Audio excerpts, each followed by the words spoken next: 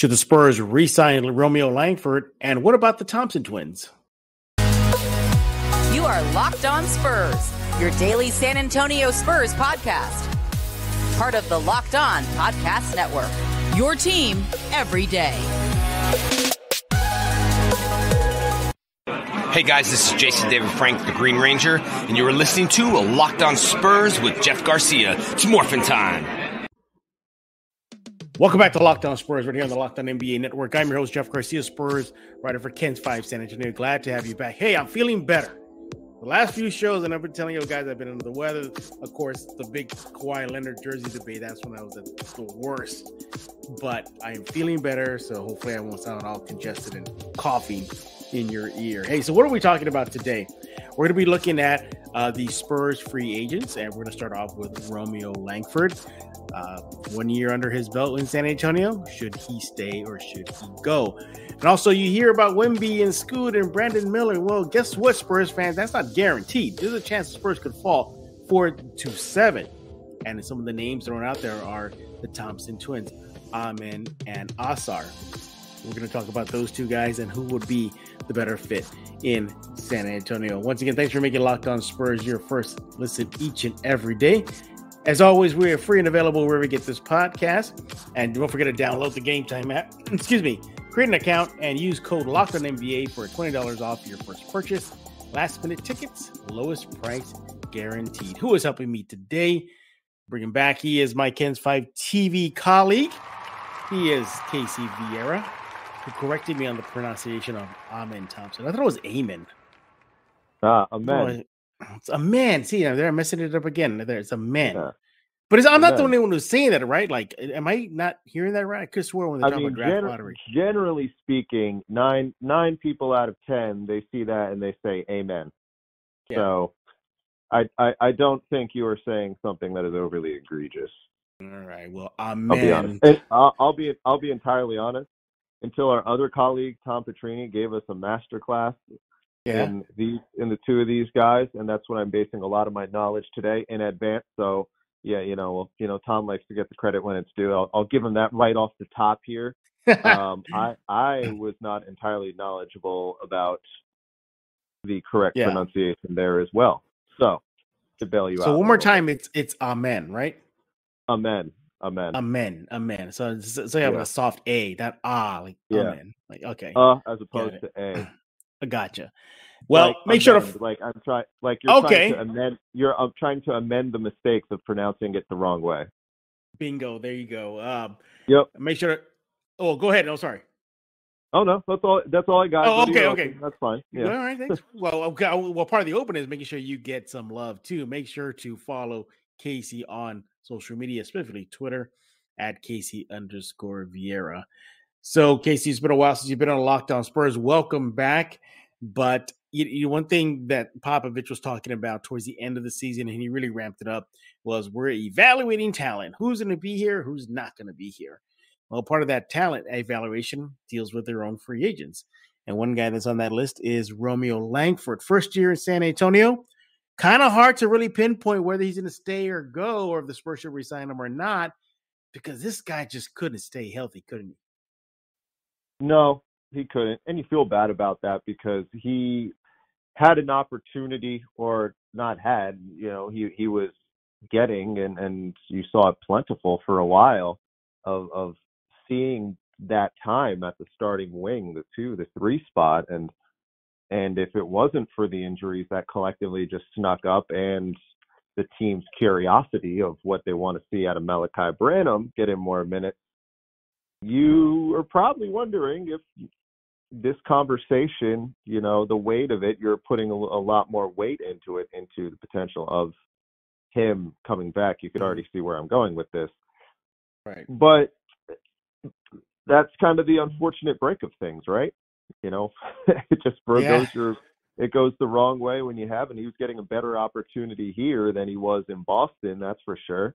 And now as a result, especially given what they do have the team and being largely pr- pretty pretty you know pretty plentiful of wings and in all likelihood going to be drafting another mm-hmm. i i don't know if this next season leads to Romeo Langford on the team.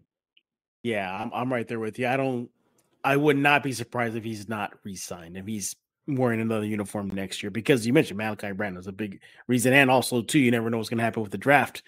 They get Scoot, or even I mean through Miller or whoever, or one of the Thompson kids, you, you know, that really throws everything's out uh, for Langford, and for me too, is just that old expression in sports: the best ability is availability, and he just exactly available at all. Good defender. There was a uh, segment in the season last year where he was playing at peak performance. We saw him defend, we saw him score. You had Keldon Johnson come out and dare the media to look at Langford's high school uh, video clips and to prove uh, his point that Langford is the real deal. But that adductor strain that affected him kept him out of the uh, lineup, constantly riding the IR. But Casey, we shouldn't be surprised because this was him in Boston. Yeah, yeah, pretty much.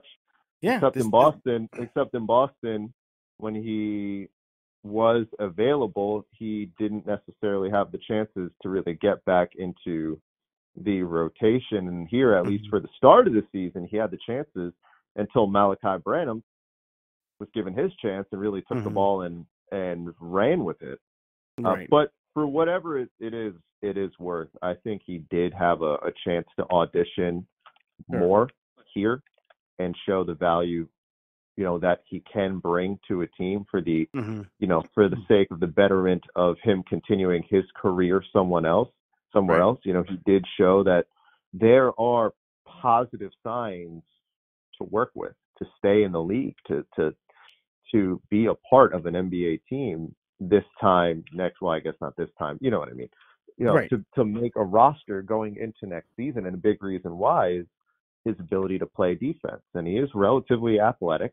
He is, and th- that that there are tools to work with that are there. And so, while I don't necessarily think it'll be in San Antonio where he continues his career next year, I do think this year he showed enough mm-hmm. to at least make for whatever it probably is or is not worth to right. give me reason to believe that he'll be on an he'll be on an NBA roster by the time the season starts next year.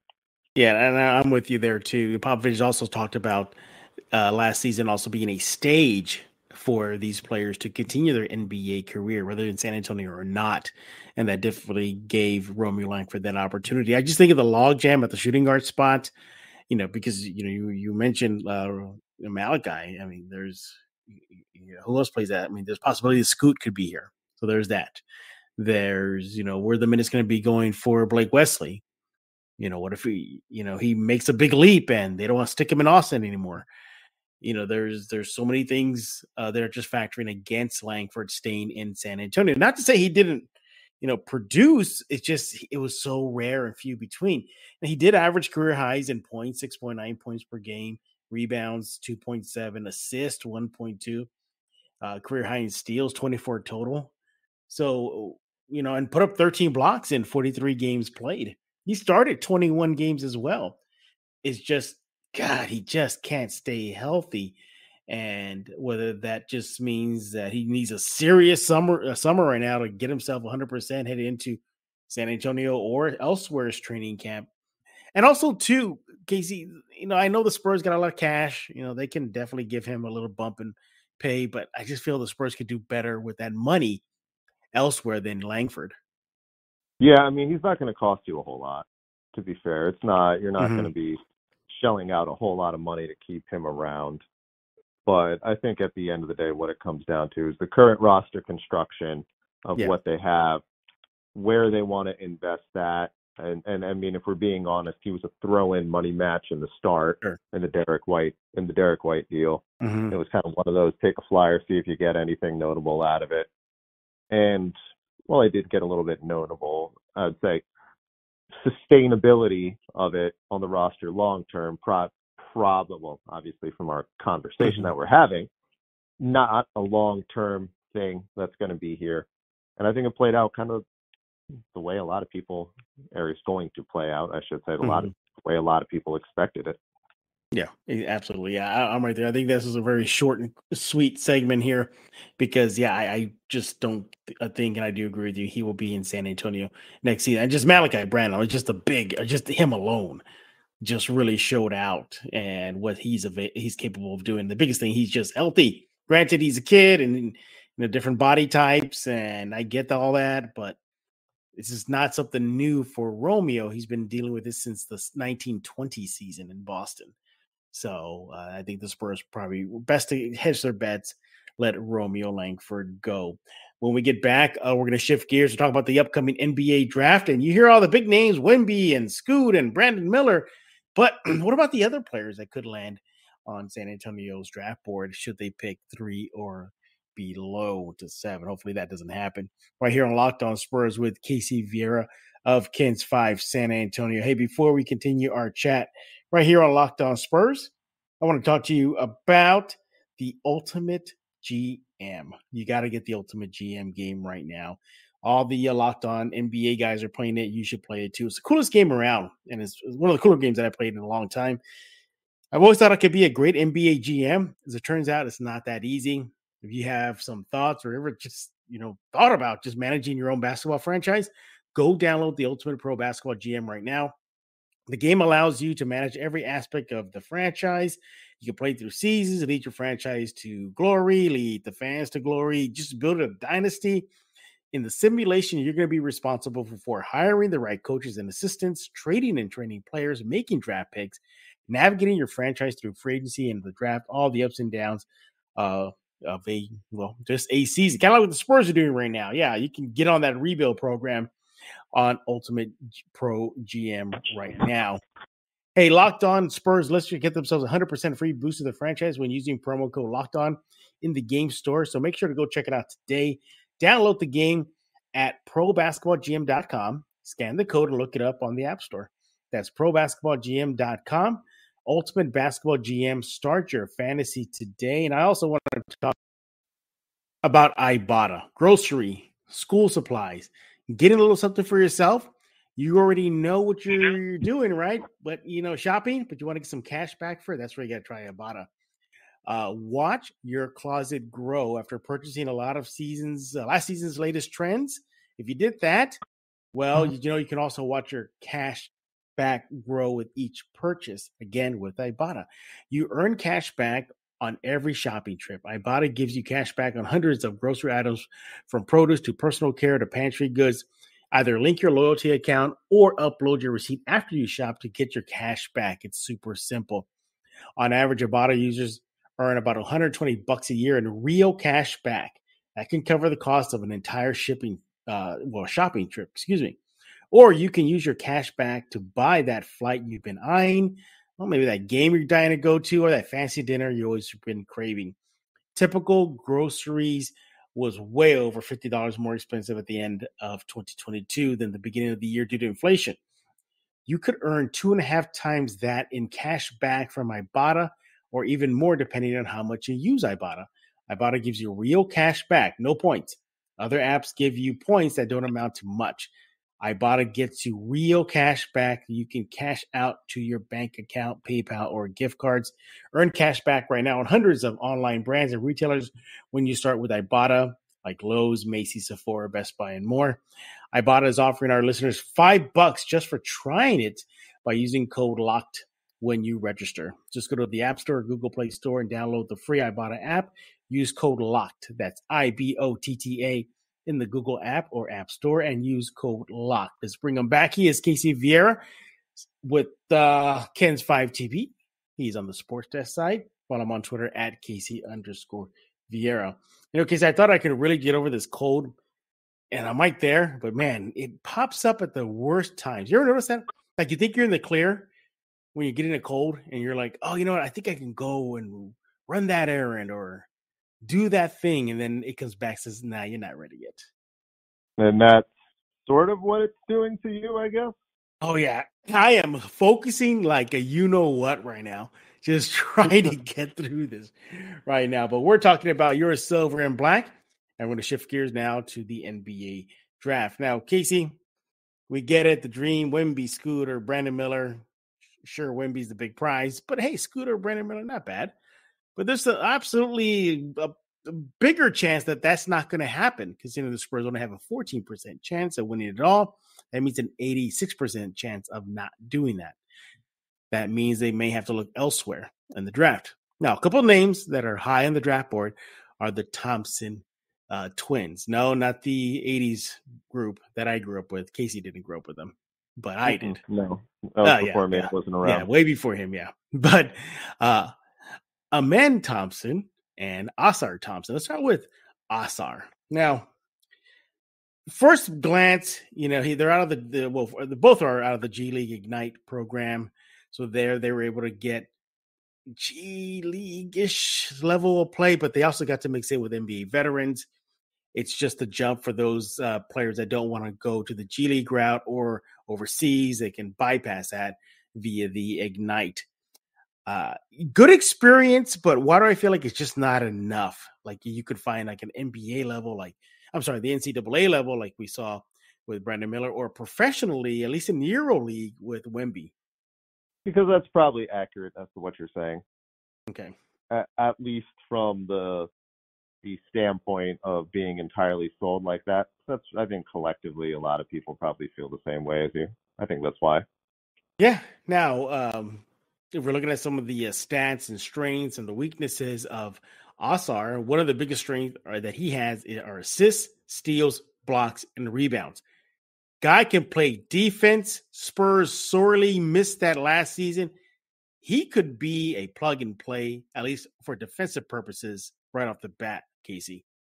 I think with a lot of that too, you you know you take him and what might make him the better fit of the two is the fact that all of those things are like you said needed and Mm. it sounds like based off these kids they have raw enough athletic ability and talent to Right. sculpt things a little bit later and i feel like it's easier to instill it's it's easier to or i guess more convenient with a rookie 19 20 year old kid to instill offense into a defensive player as opposed uh, to defense and if that makes sense yeah defense It, it does. It more- does.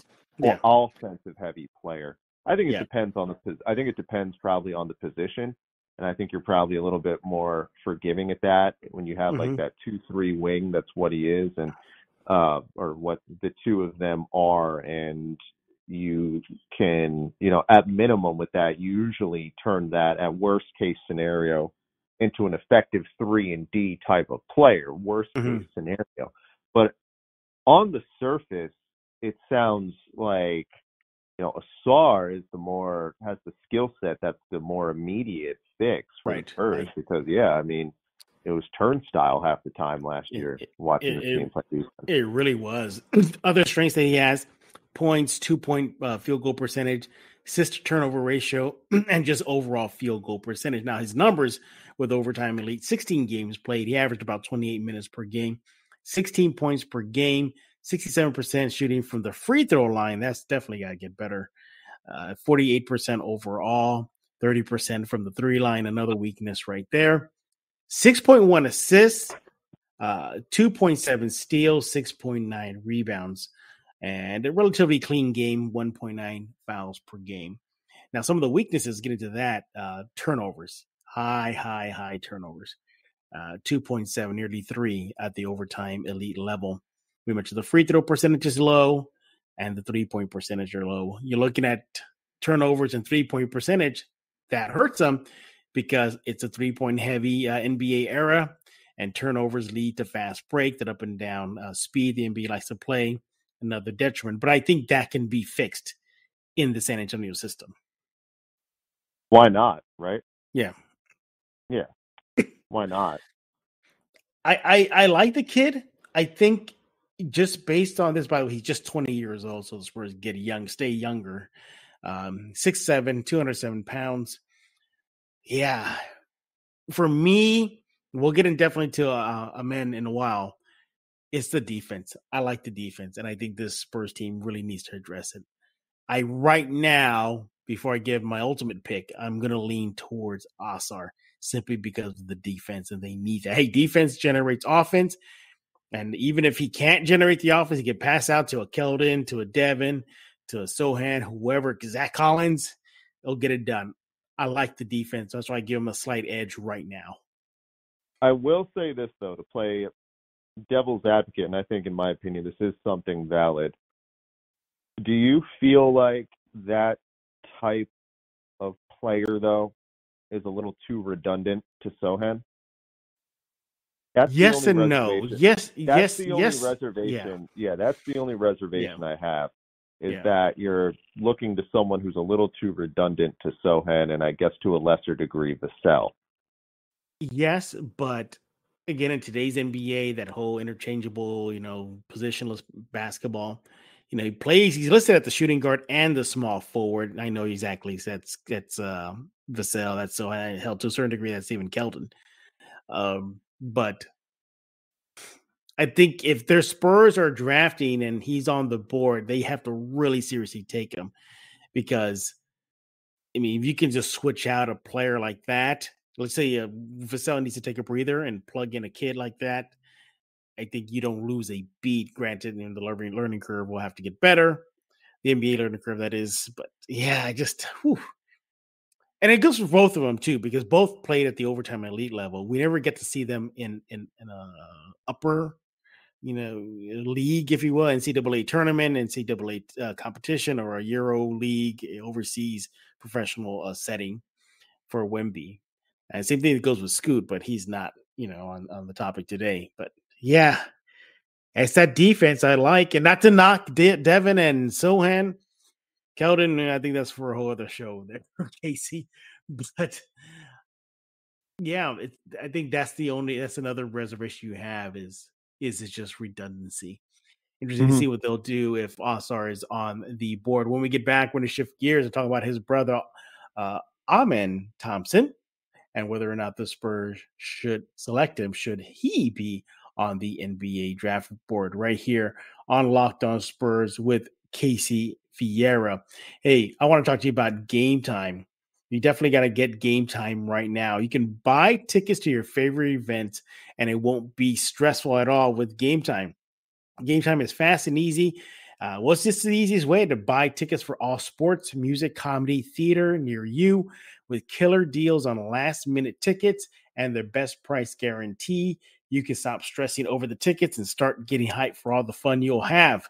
Flash deals, as mentioned, you get images of the seat, lowest price guaranteed, event cancellation protection, job loss protection. It's just easy to use. Buy tickets for every kind of event in your area. Hey, look, forget planning months in advance. Game Time has deals on tickets right up to the day of the event, and it's the fastest growing ticket app in the country for a reason. Game Time will credit you 110% of the difference if you find tickets in the same section and row for less at other spots. Again, get images of your seat before you buy so you know exactly what to expect when you arrive. Buy tickets in a matter of seconds. Download the Game Time app, create an account, use promo code Locked On NBA for $20 off your first purchase. Terms apply. Again, create an account, redeem code Locked On NBA for 20 bucks off. Download game time today. Last minute tickets, lower lowest price guaranteed. Also want to talk to you about the Nissan Ariya. Today's Nissan Most Electric Player of the Week is brought to you right here by the all new all electric 2023 Nissan Ariya. Now, I know this is locked on Spurs, but my goodness, if I had to go, I got to give it to Jimmy Butler, the Miami Heat. Did you see what he did versus the Bucks in the previous game? 50 mm-hmm. something yep. points, Casey. Uh huh. I oh my goodness. Wow. Um, arguably already a top five ish postseason performance. Absolutely. Of the past. I was going to say ever, but there's been a lot of postseason. Right. Um, I'm trying to think of a generation, and maybe within the past ten years. Yeah, exactly. You know, I thought my Probably. eyes were bulging out when I saw Tim Duncan almost get a quad dub in the NBA Finals. He was robbed. But my goodness, what Jimmy Butler did is just insane. He is Nissan's most electric player of the week right here on Locked On Spurs. Hey, it's electric, brilliantly fierce, fiercely elegant, subtly powerful, elegantly powerful. Delivers on duality, a combination of fierceness and elegance, beautiful but strong, the perfect SUV crossover. The 2023 Nissan Ariya packs pin to your seat power and premium intelligence all in one EV the EV for people who love to drive. Shop now at nissanusa.com. All right, uh, Casey, let's go and continue our chat right here on Locked On Spurs. We're talking about the possibility of the Spurs looking into or maybe drafting one of the Thompson twins. Now, we just did Ausar. We're going to do Amen Thompson now, his brother, also with overtime elite, 6'7, 202 pounds. That's what he's listed at. Let's go at some of his strengths already. High two point percentage, conversion, high assists, high field goals, high steal, high rebounds, high blocks, better assist to turnover ratio, can score more. Weaknesses, turnovers, three point percentage, and free throws and fouls. So he does tend to get into trouble on the foul situation there quick. Uh, you know, I think this is the same situation that we just saw with Ausar right now. Is we're possibly looking at another duplicate of a Vassell, Keldon, or a Sochan, uh, Casey. Yeah, uh, for the the early, I think. Well, I guess not really early. I was going to say early returns, but it's not really early anymore. It seems yeah. the returns are kind of the cliche yin and the yang. Is that Ausar is a little bit more defensive heavy, and Amen is a little bit more offensive heavy, if you will. And the good thing about where the Spurs mm-hmm. are at, they need they need both right now, right? Yes, they do. they need both. You know, it's philosophy wise, they're never gonna go wrong in theory with a guy who's defensive focused. But on the contrary, they need about as much help offensively, or at least mm-hmm. versatility mm-hmm. that they can get with where they're at. So you know, we say all these things, prefer one or the other. Net gain seems to be overall a positive from whatever which way that they do it. But yeah from I, I think what would be interesting if they draft Amen or really more any offensive minded wing, so to speak, was that is there like a trickle down move? And I'm really mm-hmm. implying one to two people here, really one person. Uh, is there a trickle down move and you see someone like Keldon get moved for another quality asset to build out the roster? You know what I mean? Right, right. I I go go ahead. No, no, no. I was gonna just interject real fast and say, uh, circling back uh, to this discussion is before we hit record. You know, I had some clarification with Casey, everybody, because we talked about the topics. I said, "Oh, we'll talk about Amen, I'm sorry, Amen and uh, and Ausar," and I misunderstood Casey when he said, "I go, okay, whichever." but uh and I ran around with that. I go, you know what? Maybe that is the situation. It's it's kind of a win-win for the Spurs. If if uh, Amen is off the board and Ausar is there, okay, and vice versa. So mm-hmm. I think if they go that route, even though you didn't mean it that way, Casey, but I think you're right. It's whichever. Again, it's yeah. the the the the silver lining and needing a whole lot of things, right? needing needing yeah. help in various fronts, being void of talent on various fronts, is that anything, anyone will help in any capacity. Mm-hmm. You know, and that might be the case here. Yeah, yeah. I'll look at some of the numbers for uh, uh Amen uh, Thompson. 16.3 points per game. Oh my God. This may make you cringe a bit. 23% from the three line. Oh boy. Yikes. Yikes. 16 games for overtime, 28 minutes a game. So he played a few more minutes than his brother. But 6.2 assists, 6.4 rebounds, a little less steals, 2.4. And then, as I mentioned, uh, free throw percentage 64%. I think another, whichever they pick, dare I say, Casey, project ish for both of them? in reality, I think anyone in this draft not named Scoot Henderson or Victor Wembanyama is, is probably true project ish. Even Brandon Miller? I think Brandon, you're probably right. I think Brandon Miller is probably closer to more polished and ready than the other ones. Yeah, but I, yeah, I, I, yeah. yeah, go ahead. I look at Brandon more of just need some sandpapering Mm. versus everybody else kind of like, you know what, he may consider G League time. You know, I, I wouldn't Right. be surprised if it, if it's one through three and if it goes the way you're already projecting, four down, might those players may see some unless they just wow in training camp and preseason. But uh Mhm. yeah, I think that's another reality that Spurs fans have to face is that if they don't win it all or land top three, Spurs may get themselves a project-ish player. Casey, that's something else Right. I don't think Spurs fans are thinking about. You know, this is probably a, a subject matter that we don't have enough time for I think so. on yeah. And, and I think you know Yeah. where where I'm going with this. I know where you're going with this. Yeah. Is that if they don't get one or two, do you trade the pick? I don't know if that's where I'm I was write that down. I'm gonna write that down. I think that's a, a very, very good topic for another show. But I'm gonna tell you right now, quick preview. I think you have to strongly consider it. I think you do too. Yeah, but we'll definitely do too. table. I know that's yeah. more. I know that tends to be more of an NFL kind of thing. Mhm. Trade out of that spot and accumulate assets, especially when collectively there's a whole lot of project players. I don't Mhm. know necessarily how eager teams would be to move into that four spot. Maybe there's a scenario like, okay, so like say the Spurs end up at four and Brandon Miller is still on the board and the Spurs know that they're not going to take him. Maybe you get a team that's a little bit more higher on him and they're like, all right, mm-hmm. we'll trade up. We'll trade up from seven. Who even do we know who who's who has number seven? I, um, whoever it is who has seven. Yeah, right whoever it is. Yeah. whoever it is who has seven right now, we want him. We'll give you seven and three first round picks.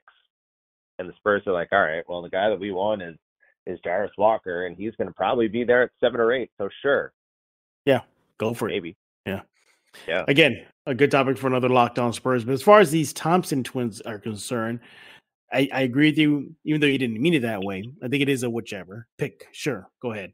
You, you know, great. They both address a need. Uh, you know, they, they, they're both young. They both can fit into the timeline of the rebuild. The Spurs are really good at using the G League, Austin Spurs. Wouldn't be surprised to see either of them there. But if I had to lean, I would still go Ausar simply because of the defense. Uh, what, are- what about you? I know. I know it's I, it's I, I'd probably go. I'd probably go Ausar. I probably Yeah. would I, I feel like the, the the defensive thing was is is a more prevalent need right now. I- I mean, Casey, it was bad last year. it was It terrible. was- didn't they drop was ter- 150 plus on them? Something at one, a few, not just one game, but a couple games. Oh my god, it felt like 250 half the. Jesus. I, I think Oh, I think while yeah. they they do need that you know having more talent talent on the offensive side of the ball is certainly of more benefit than less. No kidding. Mhm, I think defensively they were just that bad last year that mhm. you just you almost have I don't want to say have no choice, but really like okay, so they don't land the top two. They're not high on Brandon Miller. You have a Mhm. lot of real crap. I don't want to call them crapshoot, but dice rolls, so to speak. After that, of players who are, you know, you got a chance to be starters in the league. I think you have to prioritize the ones who are more defensive minded first. uh, You know, Hmm. defense first type players. I think they have to look that route first. Yeah, I think so too. And in, in you know, all signs are indicating that Pop it will be back. You, could tell the defensive side of things really weighed on him more so than anything, for obvious reasons. I think Ausar will address that. I think Ausar could be what Romeo Langford should have been, and you know that young, dynamic defensive stopper, which you saw Langford definitely do, just wasn't enough because of his injury. And I think Ausar will fill that void easily. But yeah, things are going to get very interesting. The draft lottery is just a few short weeks away. Uh, we'll see what the Spurs land and if fortune smiles on them. Wouldn't it be ironic if Dallas wins it all, considering they tanked that one game, or Houston gets it because they took a chance Right. on Ime and the Boston and then and the basketball gods smile on them. Spurs are Right. like, I don't want to put that in the universe. I retract everything I just said right now. yeah. It's really humbling when you realize there is a much better chance that they don't get Wembanyama than when they do. Like significantly better chance. the Spurs, the okay, we know the worst they can do is seven. So right. you just got to get past seven. You and that's it. You know that's the thing. That's the worst case scenario. I think at seven. Can you imagine if they get seven? I mean, that's you're not getting an impact player at all. I don't think you are. Oh, oh. impact immediate, or or. Guys, in oh, my, in my opinion, there's there's two guys, maybe three, that do okay. that. And the oh, obvious, the, yeah, yeah, you know, yeah, Wemby, Scoot, and depending how you're feeling, what what side of the bed you wake up about Brandon Miller, then those yeah. three. Everybody else, everybody else. It's cliche, but I think the draft really starts at four, or everyone outside of those three right. guys, probably. So I'm not like like okay, this is probably a little bit of a stretch in me trying to be glass half full in the event that they do get number seven. I don't see a massive difference in landing four and landing seven, knowing how the Spurs tend to operate with things and always think to, for better and worse to outside the box about some of these prospects where they go to. They, I mean, they might value a guy knowing them who's projected to go 11, 12 and sure. take him theoretically at 5 mm-hmm. We saw it last year. I mean, we saw or, Sochan where, where he did, and some people, some people weren't even sure Sochan was going to be a, a lottery pick. Or, or, or hell, I go back a few more years. Uh, you mean Primo? Primo. The with this, if the Primo doesn't show, the Primo pick doesn't show just how out there Brian Wright and the Spurs are willing to take a risk on players, and then I don't know what will convince you of that. So don't be surprised if I'm making this up. Spurs are picking at five or four, and it's like, oh, it's obvious. It's one of the Thompson twins, duh. And it's Euro guy, or it's you know another guy, you know that wasn't even projected to be in the top ten. I can see them doing that because if they're in a rebuild, then I can, and they're in a deep rebuild, I don't see them coming out of the deep part of the rebuild of the uh, how about the deep end of the pool, so to speak mm-hmm. at least for another year. Which again might be more right. Again, might yeah. be more the reason if you're not if you're not number three to just trade altogether. And that'll definitely speed things up. He is Casey Viera with KENS Five TV sports desk side of things. Uh, you know, it's kind of a is, is, it a quiet time in San Antonio sports right now? I know the Brahmas are all done already, so yeah, pretty much. I, I, don't even know where to begin with them. But anyway, yeah, it just, was it just me that there was no vibe for them? Like I didn't feel San Antonio show out for them. Well, I mean, this is something that we've talked about before. The schedule makers didn't do them any favors. That's right. That's they didn't do them any favors. Like, okay, so they, the first week they were here, the inaugural week, they sold the place out, and then the next two weeks they have to go on the road, which it theoretically is understandable because they have they've forever had the high school championships, basketball championships those two weeks. Okay, fine. But why couldn't they have come back home the third week? And that the ensuing week, the fourth week, why are they playing a game at eight at night on a Sunday? You know what I mean? And that takes away the lot. The way the league was constructed, having the players in Dallas not being able to engage with fans, uh, they were doomed.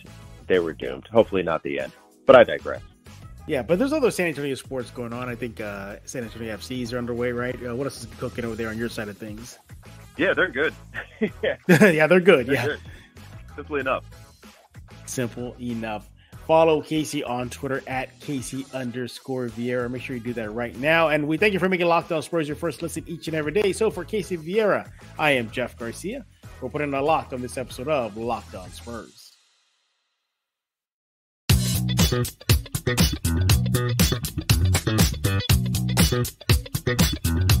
you.